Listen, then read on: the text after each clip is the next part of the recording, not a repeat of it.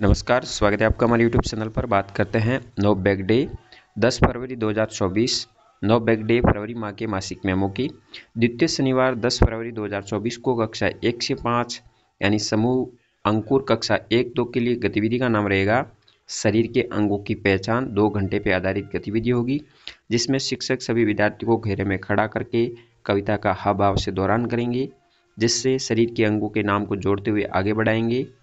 इस तरह से ये कविता जो कि आपको देख रहे हैं, छोटे विद्यार्थियों का कमाल कमाल, आओ एक दूसरे को जोड़ेंगे। इस तरह से ये कविता का गायन करेंगे और विद्यार्थियों को अंगों के बारे में जानकारी देंगे। इस कविता का आप स्क्रीनशॉट लेकर के भी विद्यार्थियों के साथ ये एक्टिविटी करवा सकते हैं। फिर बात करते हैं इसके सीखने के अंग। प्रतिफल क्या होंगे जो अंगों के विषय के बारे में समझ विकसित होगी? समूह नंबर दो की बात करते हैं कक्षा तीन से पाँच। प्रवेश के लिए गतिविधि का नाम रहेगा कोलाज मेकिंग। कोलाज बनाना। चार्ट, पेपर, समाचार पत्र पुरानी पत्रिकाओं के द्वारा कोलाज बनाने से संबंधित है, जिसमें कक्षा कोष समूह में विभाजित कर दे और एक थीम, पानी, पृथ्वी, घाटी आदि का एक चार्ट पेपर दिया जाएगा और उस पर एक रेखा चित्र बनाएँगे अलग अलग रंगों के अखबार और पत्रिकाओं के छोटे छोटे टुकड़ों का उपयोग करते हुए। विद्यार्थियों में विचार प्रस्तुतिकरण की कला विकसित होगी। साथ ही इसके अतिरिक्त दो घंटे का आप बाहर जाकर खेले, खेल के तहत आउटडोर गेम्स आउटडोर गेम्स का आयोजन कर सकते हैं। तो इस तरह से रहेगी कक्षा तीन से पाँच का जो की गतिविधि।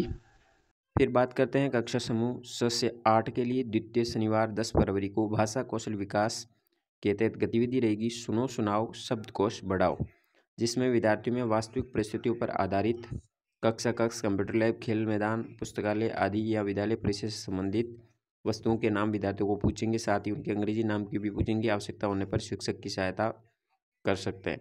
विद्यालय भवन की बार की प्रस्तुति पर आधारित हो, ऐसे भी विद्यार्थियों को बताएँगे और बाद में विद्यार्थियों से भी पूछे जाएँगे। इससे विद्यार्थियों में शब्द कोच की वृद्धि होगी।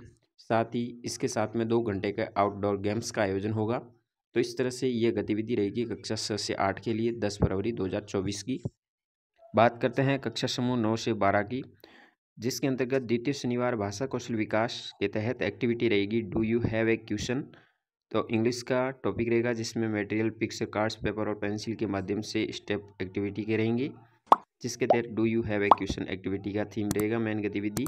इस पर आधारित जिससे स्टूडेंट में फ्रेम क्वेश्चन बनाना सीखेंगे।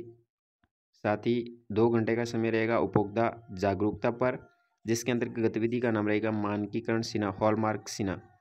आसपास की विभिन्न वस्तुओं के खाली पैकेट के ऊपर हॉलमार्क सीने के बारे में जानकारी देंगे, जिससे दैनिक उपयोग में आने वाली वस्तुओं के खाली पैकेट पैकेट एकत्रित करने को कहेंगे और हॉलमार्क की पहचान करवाएँगे, जिससे विद्यार्थियों में हॉलमार्क की पहचान कर पाएँगे और उसके अर्थ को समझ पाएँगे, किसी भी सामान को खरीदते वक्त हॉलमार्क का ध्यान रख पाएँगे।